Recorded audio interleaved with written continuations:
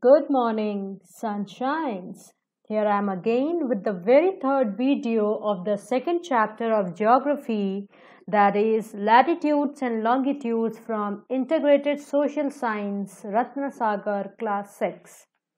So in the last video we have discussed about the parallels or the lines of latitudes along with it we discussed the important parallels that is north pole 90 degree north arctic circle 66 and a half degree north. Tropic of cancer 23 and a half degree north. Equator 0 degree latitude. Tropic of cancer 23 and a half degree south. Antarctic circle 66 and a half degree south. And south pole at 90 degree south isn't it and we have also discussed how to measure latitudes. We know that the equator divides the earth into two uh, hemispheres that is the northern hemisphere and the southern hemisphere. So that is why if we are moving towards the north of the equator we will locate the places with n. And if we are moving toward the south of the equator we will locate the places in south okay? So latitudes help us find the places in the north direction as well as in the south direction.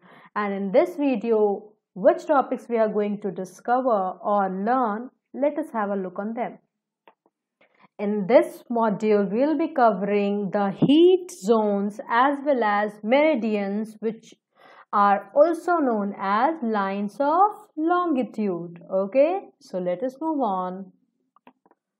Some parts of the earth receive more heat than other parts because of the variation in the angle of the rays of the sun okay? And depending on the heat received the zones are named differently okay?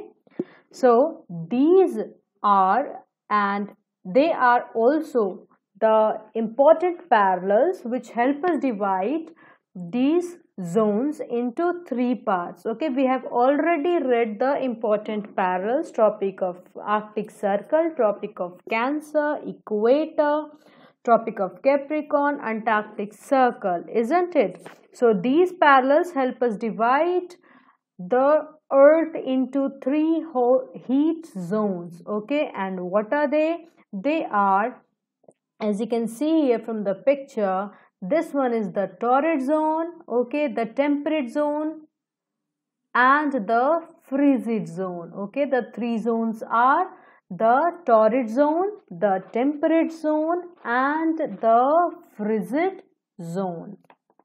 Let us discuss about the torrid zone. Okay. So the Tropic of Cancer and the Tropic of Capricorn. Are you able to see the Tropic of Cancer and the Tropic of Capricorn?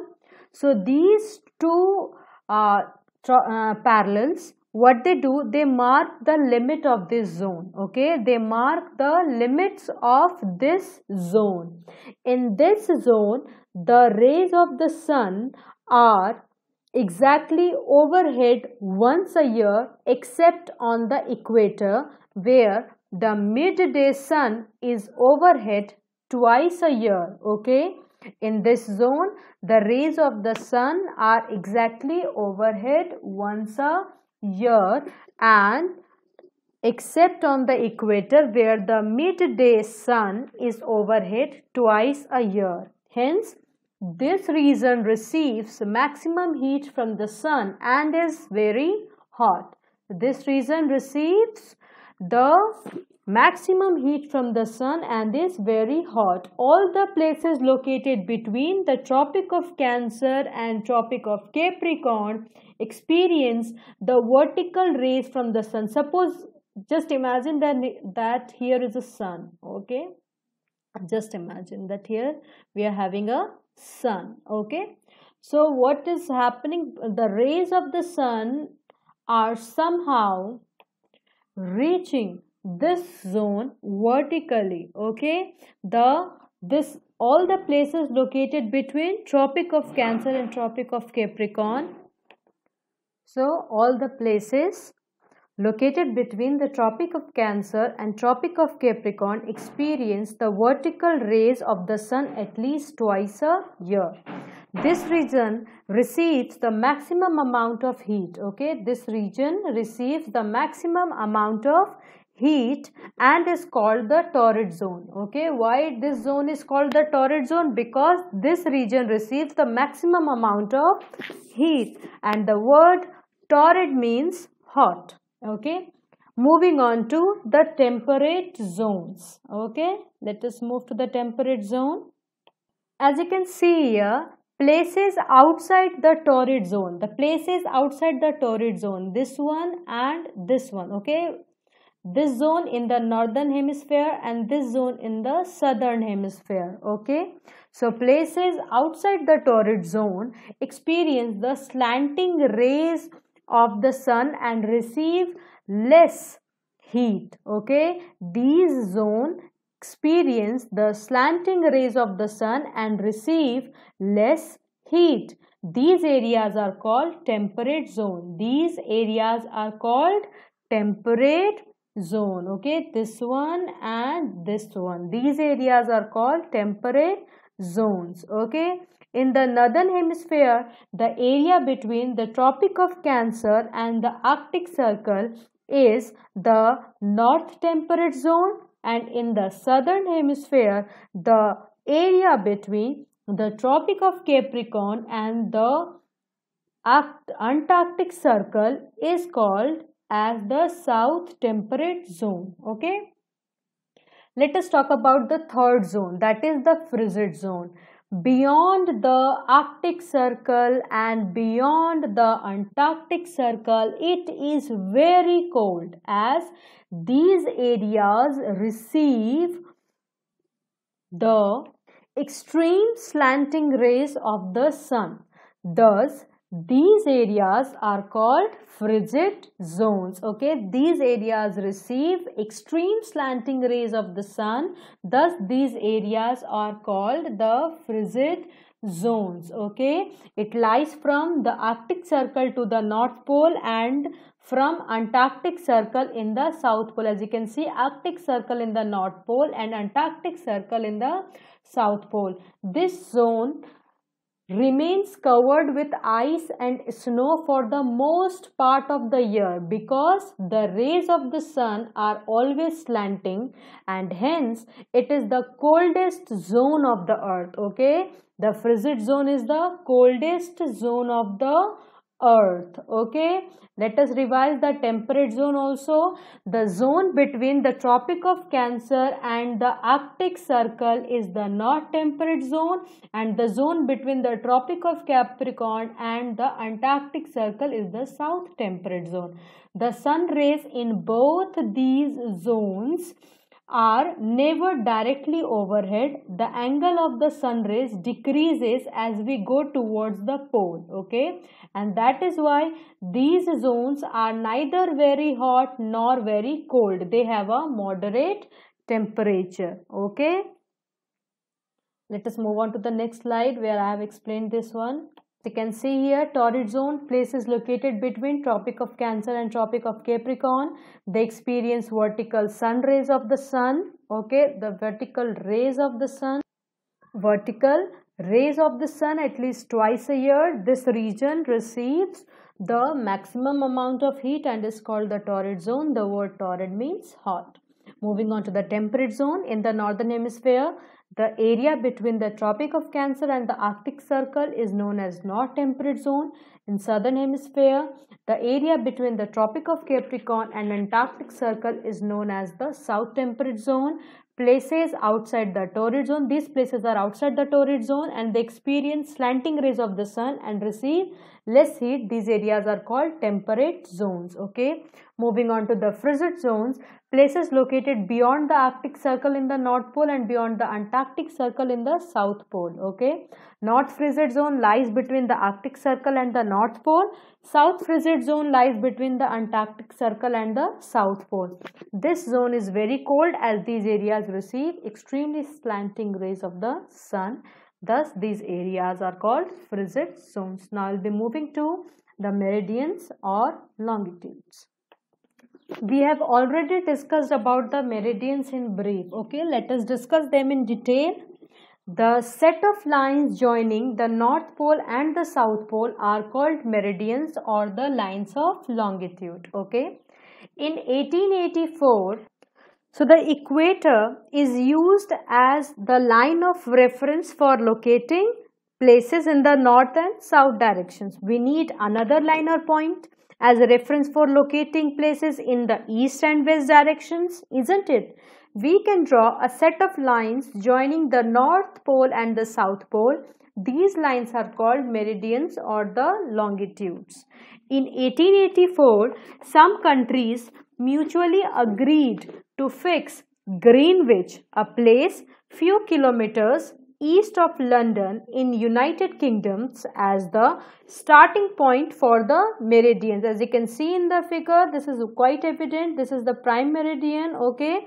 And the meridian which passes through the Greenwich was taken as the prime meridian, okay? What is prime meridian? The meridian which passes through the Greenwich is taken as prime meridian, okay?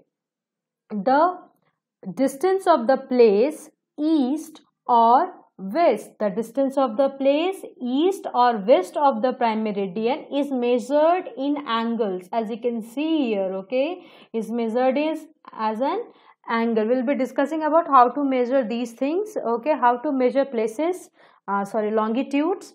The meridian which passes through greenwich okay was taken as prime meridian. The length of all meridians are same as each one is a semicircle. Okay each one is a semicircle. And any two opposite meridians when taken together form a complete circle which is a great circle. The maximum distance between two meridians is at equate uh, sorry two meridians is at the equator which is about 111 kilometer for 1 degree of longitude okay? 111 kilometer for 1 degree of longitude okay? The distance between any two meridians decreases as we go away from the equator okay? As we go away from the equator to the towards the poles. Here you can see the distance is is greater between uh, the prime meridian and the other uh, meridian okay? But when we move from this equatorial part to the polar part we'll see that the distance between the meridians start decreasing okay? All the meridians meet at the poles. East of the prime meridian up to 180 degree east is the eastern hemisphere whereas west of the prime meridian up to 180 degree west is the western hemisphere okay? So east of the prime meridian up to 180 degree east is the eastern hemisphere whereas west of the prime meridian up to 180 degree west is the western hemisphere so in the uh, very first video we have learned how to measure latitude. And the very second video we have learned how to measure latitudes. Okay in this module we'll be learning how to measure longitudes. As you can see here in the picture while we were uh, measuring latitude the angular distance was here. Okay isn't it? From the center of the earth to the parallels huh? So here you can see that because uh, the longitudes are the vertical lines the angular distances here okay between the longitudes and the center of the earth the longitude of a place is the distance of that place, okay, east or west of the prime meridian. The longitude of place is a distance of that place east or west of the prime meridian, okay. Okay, so you can see here I have used the symbol showing you whether is the east direction and uh, whether where is the wait a minute. Now it will be clear for you to understand the east and the west direction okay? The lang the longitude of a place is the distance of that place east or west of the prime meridian okay the latitudes of the latitude of a place is the distance of that place north or south of the equator okay but the longitude of a place is the distance of that place east or west of the prime meridian measured as an angle whose vertex is at the center of the earth. The longitude of a place is always expressed in degrees. Okay the longitude of a place is always expressed in degrees. The prime meridian is at the starting meridian is we take prime meridian as the starting meridian and is marked as 0 degree longitude okay? So there are 180 meridians to the east of the prime meridian and 180 towards the west of the prime meridians. And these are written as 0 degree to 180 degree east and 0 degree to 180 degree west in the same line. And thus the total number of meridians on the globe are 360. What are the total number of meridians? 360. Okay. So longitudes help us find a place to the east and west of the prime meridian. Okay. And the latitude help us find the place to the north and south of the equator. Okay. So this is all for today we have discussed that what are the heat zones how we can measure longitudes okay? So in the very next module we'll be coming with the next topics that is located pla locating places on the globe longitude and time and the other topics as well okay? Till then have a nice day and do see the video continuously 3 to 4 times or 5 times for your own understanding because watching them again and again will help you learn and attain something. Okay now you guys are have already got the book so do watch the video then read the book okay? Because this will give you a clear picture of the videos okay? Till then have a nice day. Thank you